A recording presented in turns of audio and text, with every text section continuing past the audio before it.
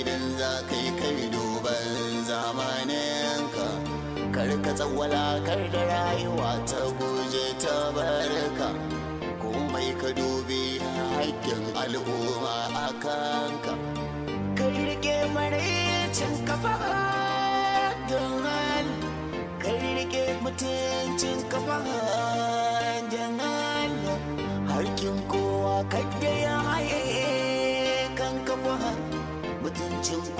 kar kake ta haidin kowa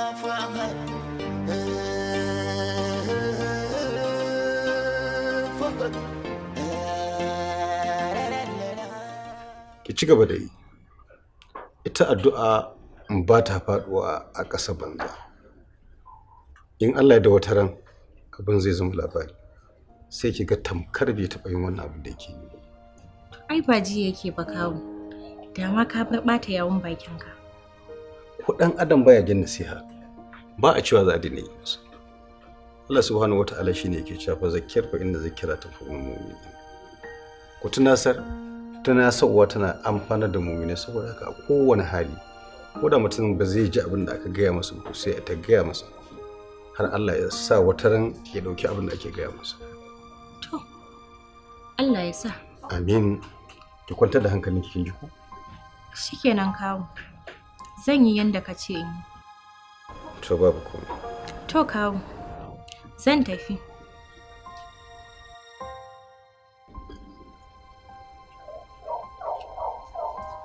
to to madalla na gode Allah saka Allah ya kiyaye Wala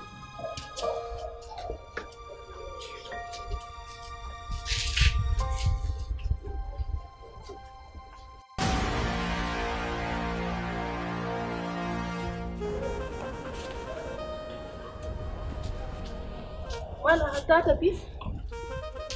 ta tafi ina sannan kina sallah Ai na ji tafiyarta. Yau ma dai akan maganar yaron nan ta zo ko? ai idan zainab ta yi zuwa goma cikin gidan nan ba za a rasa sanda za ta yi magana a kan fahad ba ina lamarin yaran nan ya ishe idan na ci miki wani abu na fahad baya damu to wallahi na yi miki ƙarya To Allah dai ya kyauta. Shi kuma Allah ya shirye shi. amin Malam, ina son baka wani shawara. Kakka ce na yi shishigi a cikin al'amuranku. haba wa ina banda abinki ai da zainab da fahad duk 'ya'yanki ne ko me kika ce a kansu ai yayi daidai ba batawa tunda ina aurenki 'ya'yana 'ya'yanki ne Ka san al'amuran na yaran nan ne. Ai ba kunya ba ce da su ba. a aikin wuce haka aikin uwa ce a wajenki ina jinki me kike so zaki ce Ni a ganina, gwara Zainab da Kabiru su ba yaron nan dukiyarsa. Ka san ba hankali ba ne da shi.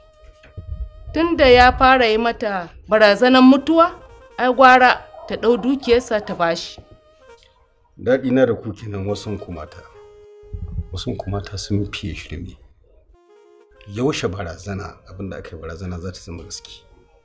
Uban da abinki dan kawai ya mata barazana zai kashe ta. Hakan sai ya zama zai kashe tan kenan. Kada fa ki manta ba da ba ma hukaci ba da hankalinsa sarai. Haba malam, ina hankali ga ɗan shaye-shaye. Komai fa zai iya aikatawa. ba za ta ba shi ba. Kuma duk abin da zai yi ya daɗe bai yi ba. Inna bari in gaya miki. Mutane da yawa ba su san me ake kira da nassin alkur'ani ba sako ne na Allah. Idan mutum ya zama bai mallaki hankalinsa ba umarni ne na ubangiji kar a danka wa maraya dukiyarsa a hannunsa sai in sai ya mallaki kansa. Idan ya zama wawa to ba daidai ne a bashi dukiyarsa ta haƙƙinsa ba.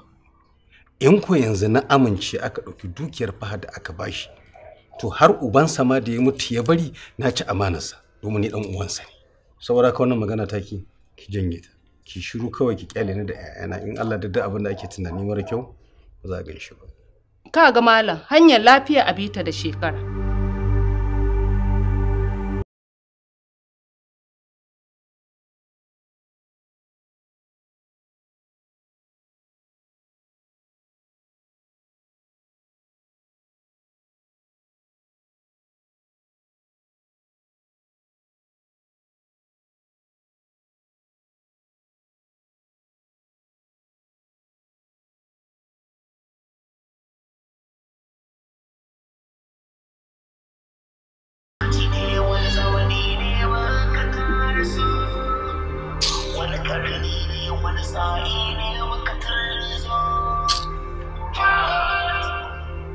Ba kiran kaki ba ne fa?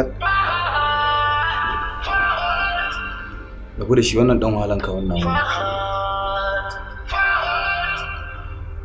A to ka daga mana kaji me ya zo muka da shi. Ki so rabu da shi. Za mu yi magana.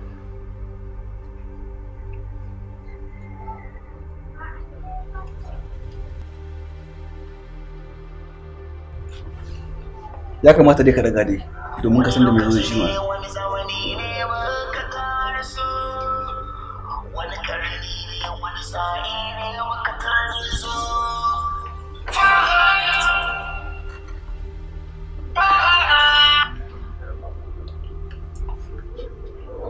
Hello?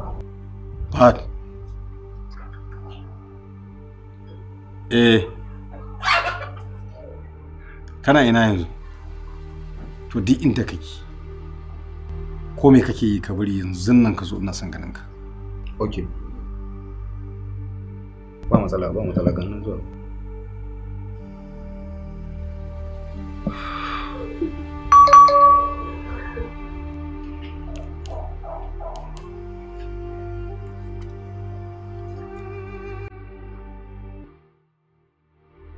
me yake faruwa ne wai nema na yake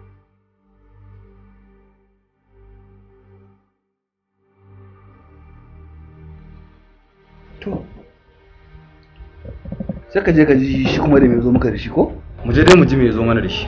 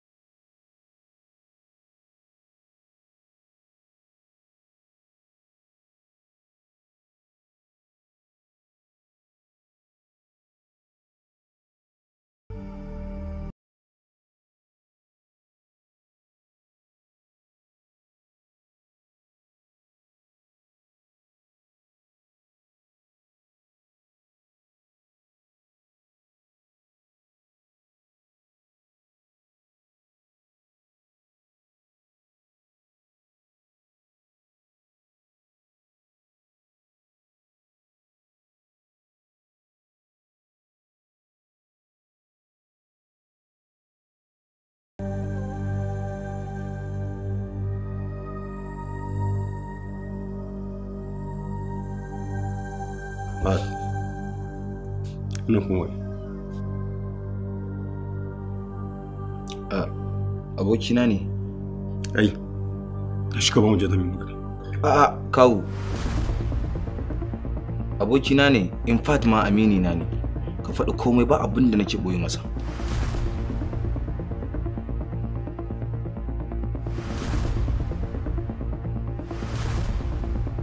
ban taɓa sanin kai sha-sha-sha ba ne sai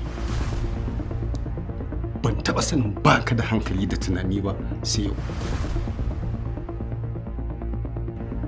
Yanzu fat har haukanka ya kai kai wa yar uwarka ciki ɗaya uwa ɗaya uba ɗaya barazanar kisa dan kawai gadin kai na hannunta. Kawu ni fa na girma. Don haka zan iya kula da dukiyata da kaina. Ba sai wani ya mun katsalandan ba. Fata ni kake gaya wannan magana? Lalle fata ba ka da hankali. Ka dubi kanka mana. A irin yadda kake nan haka shine za a baka dukiya mai yawa. Ka iya alkinta ta ka amfani kanka ko kuma ka amfana da wani. Ai sai dai ka lalatattar da ita a wajen sha'anin bantsan ku da kuka saba kuke da kai da abokanka. To kawu kuma me zan yi da kuɗi na to ai dukiya ta ce. Don haka kawai a bani abuna kana larfin baki gaji sakare kawai.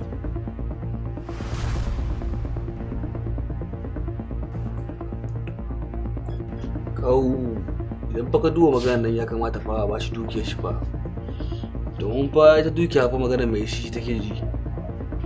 Ko? To ba za a bashi ba.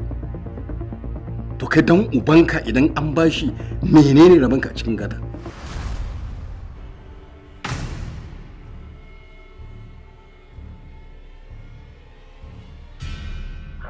ba dai wana ba.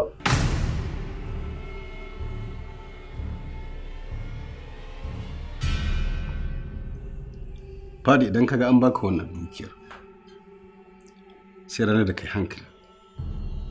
Sai ranar da na tabbatar idan an baka wannan dukiyar za ka iya riƙe ta ka amfani kanka ka amfani yar uwarka da ita wataƙila mu ma mu samu. Amma idan har in kana cikin wannan yanayi to haihata haihata dukiyar ka ba za ta zo hannun ka wallahi. Kuma ina ja maka kunne da ka yau kan in ƙara jin irin wannan maganar ta fito daga bakinka. Ballantana har ka ce za ka yi wa irin uwarka barazana za ka kashe ta. Ka jam da gama. Kaga gibson tashi mu fasa kawai.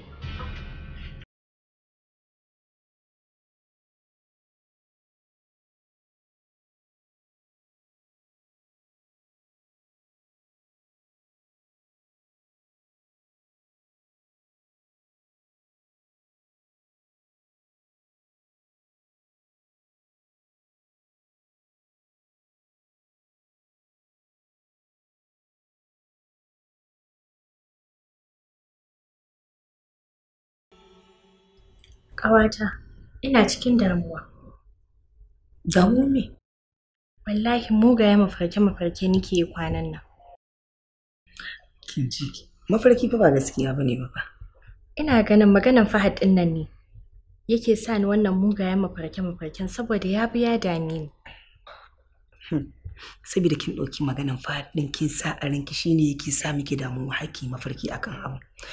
Kin ga abin da ka ɗauka wani lokacin ka sa a ranka shine fa yake ja maka kai mafarki wani lokaci akan sa fa. Um, to wai ke ba ku da kowa ne da ba za ki iya faɗa mishi wannan matsalan akan Fahad ɗin nan ba ne ba? Ba mu da kowa illa kahu bala. Kuma mun masa magana ya ma mishi magana. Amma ba abin da Fahad ya in ba zagi ba a hanya? To kin san me ya kamata ki? Ya kamata ki bibiyi abokanansa. Ki tambaye su maybe akwai wanda yake hure masa kunne yasa yake miki wannan abubuwan. Tunda shi ba ɗin nan ina gari ba shaye-shaye yake ba. Baya shan komai bai kamata a ce ya zama haka. ba.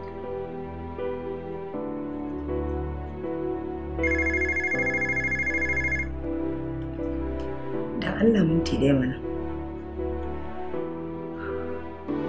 Shi ne dai abin da ya kamata ki.